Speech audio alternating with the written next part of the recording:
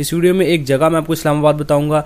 वहाँ पे जाकर अपने इंटरव्यू देना है, वहाँ इंटरव्यू क्लियर करेंगे कंपनी आपको each and everything free visa free ticket हर चीज़ फ्री देगी। तो एक रुपया भी याद रखें, किसी को पे नहीं करना। चाहे जहाँ पे आप इंटरव्यू देने जाएँ, वही आपसे मांगे किसी भी तरीके से तो आपने उनको भी एक रुपया पे नहीं करना। इस बात का आपने ख्याल रखना है। जब आप कतर पहुँच जाएँगे, वहाँ पे आपको पे करने पड़े तो आप थोड़े बहुत कर दीजिए, वो भी थोड़े बहुत ही करने पड़ेंगे। कंपनी हर आपसे एक रुपया भी चार्ज नहीं करेगी। बिस्मिल्लाहिर्रहमानिर्रहीम अस्सलाम वालेकुम आई होप सो कि आप सभी ठीक होंगे। आज की वीडियो बहुत इंपॉर्टेंट है। आज की वीडियो में कतर जो वीज़ा ऑन अरावल है पाकिस्तानियों के लिए। अब आपको डॉक्यूमेंट्स कौन कौन से चाहिए होंगे, वो भी बताऊँगा। और आज की वीडियो में मैं आपको बताने वाला हूँ कि डायरेक्टली आप पाकिस्तान में जाके, इस्लामाबाद में जाके अपना फ्री इंटरव्यू दे के अगर आपका इंटरव्यू क्लियर हो जाता है तो एक रुपया भी आपका नहीं लगेगा। Each and everything ticket visa वहाँ पे अकोमोडेशन हर चीज़ आपकी ए टू जेड फ्री होगी। आपका एक रुपया भी नहीं लगेगा, सिर्फ़ आपने इस्लामाबाद जाना है, वहाँ पे जो जगह आगे बताऊँगा, सारी डिटेल्स बताऊँगा।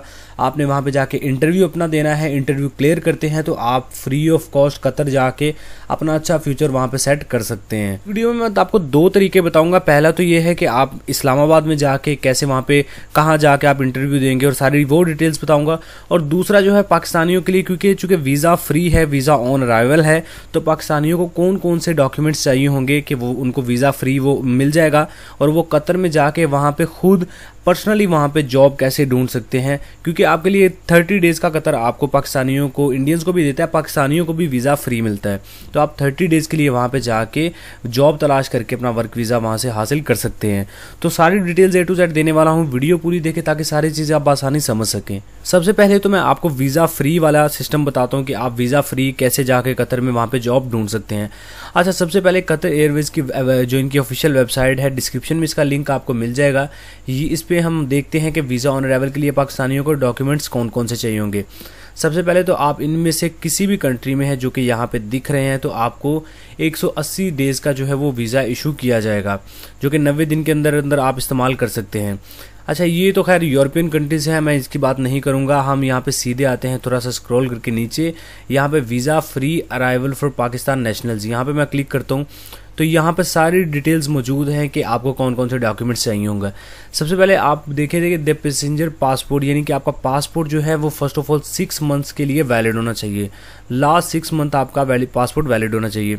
जो दूसरी चीज़ है, वो है मस्ट हैव कन्फर्म आपके पास कन्फर्म रिटर्न टिकट होनी चाहिए। ये कन्फर्म आपके पास होनी चाहिए रिजर्वेशन नहीं करवानी, आपने कन्फर्म करवानी है। अच्छा आप नडर डर हो कि ये कन्फर्म टिकट करवा लें, क्योंकि आपको हंड्रेड परसेंट वीज़ा मिलने ही मिलना है। उसके बाद तीसरे नंबर पे यहाँ पे है passenger must have valid debit और अच्छा आपके पास डेबिट या क्रेडिट कार्ड वैलिड होना चाहिए। वो आपका भी हो सकता है, आपके किसी फैमिली, रिलेटिव का भी हो सकता है।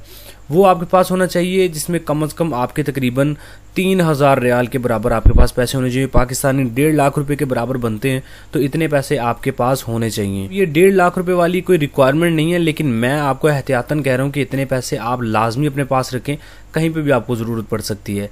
अच्छा उसके बाद है जी the visa will be granted for thirty days free of charge and not extendable मतलब जो वीज़ा है, वो तीस दिन के लिए आपको दिया जाएगा और ये एक्सटेंडेबल नहीं होगा। ये मज़ीद, इसको आप एक्सटेंड नहीं करवा सकते, ये तीस दिन के लिए होगा, तीस दिन के बाद आपको वापस आना पड़ेगा और दोबारा आप यहाँ से जा सकते हैं। उसके बाद है जी passenger should provide confirm hotel reservation अच्छा यहाँ पे आपको जो पेड नहीं करवानी, आपको कंफर्म होटल रिजर्वेशन करवानी है।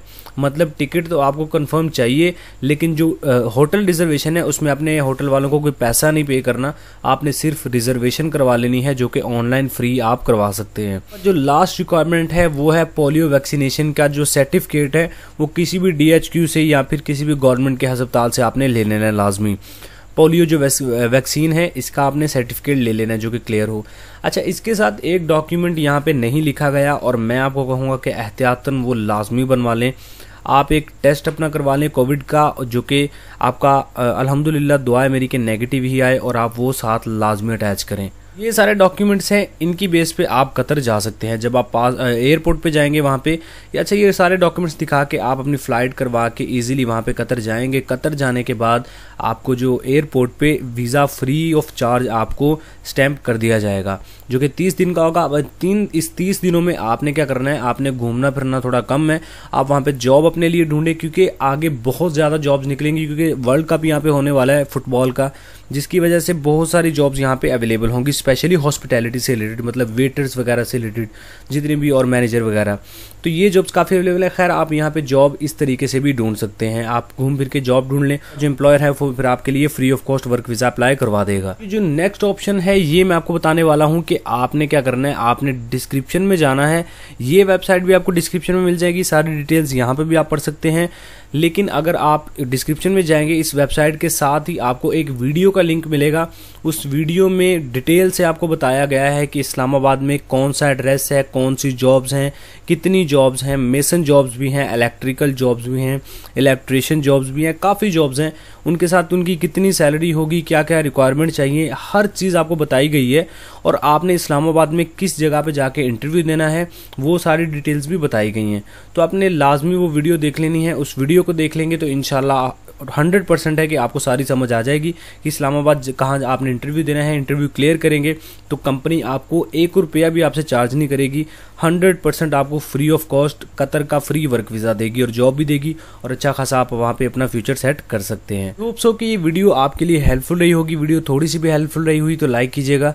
अभी तक चैनल नहीं सब्सक्राइब करिए आप पहली दफ़ा एवरी वीज़ा यूट्यूब चैनल पर हैं तो चैनल को सब्सक्राइब करके बेल आइकन भी प्रेस कीजिएगा ताकि नई आने वाली इन्फॉर्मेशन और जॉब आप मिस ना कर पाएँ। मिलते हैं नेक्स्ट वीडियो में। अपना बहुत सारा ख्याल रखिए। टेक केयर अल्लाह हाफिज़।